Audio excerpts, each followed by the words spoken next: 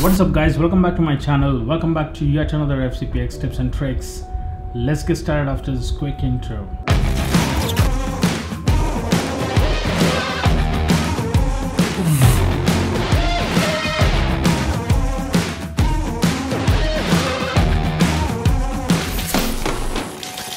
Welcome back and I hope you guys are enjoying the new intro and new episodes of Final Cut Pro. And well, in today's episode, we're going to look into something basic but yet very powerful. So, you might have been working on Final Cut Pro from an year or so, and you might have downloaded a lot of transitions, effects, and titles, and uh, you don't want to miss that out if, in case, if there is any incident of software crash, or if you have crashed your laptop, or you just want to migrate your to a new laptop and you just want all the transitions, effects, and titles and generators on your new Final Cut Pro. So in this video, we're going to learn how we can take a backup of all of these transitions, effects, titles, generators. So without wasting much time, let's hop into the system and check it out. Alright, so in order to take the backup, we got to do two steps. And number one, we got to go to Finder and find the path where all of our titles, generators, compositions, effects are residing. And number two, we got to see how to take this backup and which are the folders which are important to take a backup of. So let's go to finder and press shift command G.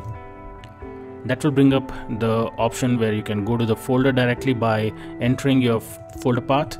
So you can just enter slash users slash if you do not know the path of it and click on go that will bring up the accounts which you have on your on your mac machine. So i have only one account and one shared account so i'm and my final cut pro is residing on man of mysore account. So man of mysore is my channel as well so go ahead and subscribe to my channel.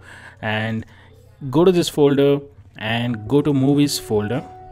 Inside the movies you'll be able to see motion templates folder there so motion templates folder is the one where you will have all your FX generators, titles, transitions and compositions.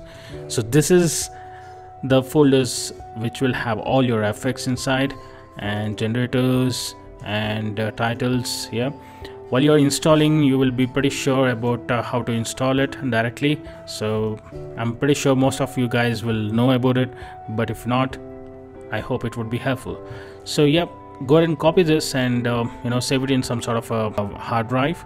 And uh, yeah that's it. It's pretty simple straightforward but when something goes wrong with your Final Cut Pro or your machine this thing would be lifesaver. So go ahead and back up this uh, folders.